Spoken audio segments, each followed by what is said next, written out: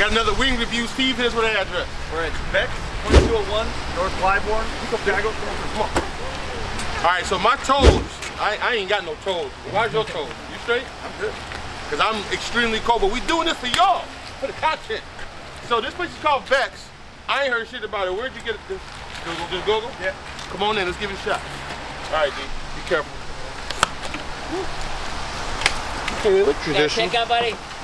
Pick up.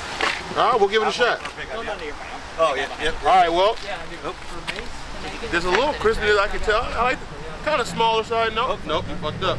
Always fucking up. Uh, Did he dip again? They kind of remind me of that place you got on the Super Bowl.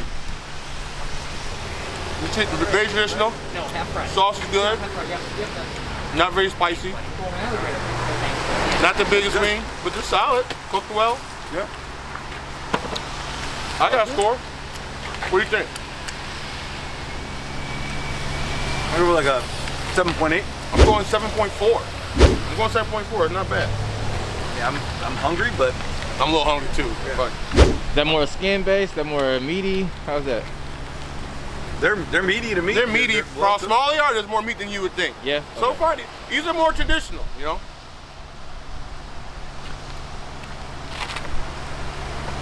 Blue cheese is fire. Mm-hmm.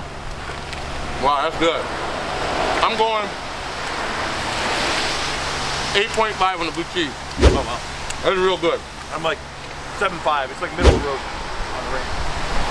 I would recommend this place. You? Yeah. Oh yeah. And that's a review.